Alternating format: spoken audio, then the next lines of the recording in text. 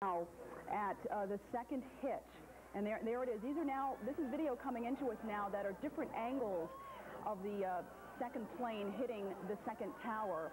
And this is exclusive video you're seeing from CNN. And the more and more we see it, uh, it's still, it is still surreal. You can see it coming at a very sharp angle on the side.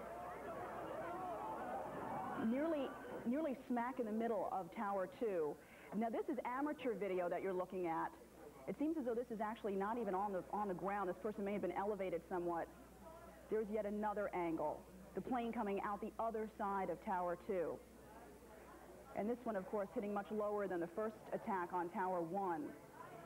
And the third piece of video that we have, if we can show that, is a CBS exclusive, which is yet another angle of the second plane hitting. Above floor 90. And this is, as you can see, at, at that time, Flight 11. There we go. Now look at the plane coming in the middle.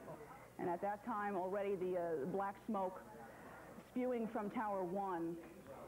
And again, images that are going to be hard to erase as, as this country now tries to heal the wounds of the most tragic um, terrorist attack against this country in U.S. history. I want to talk a little bit about the uh, Wall Street and the markets and what we can expect when we do try to have some normalcy again and try to get back to business uh, in this country. As you know, the New York...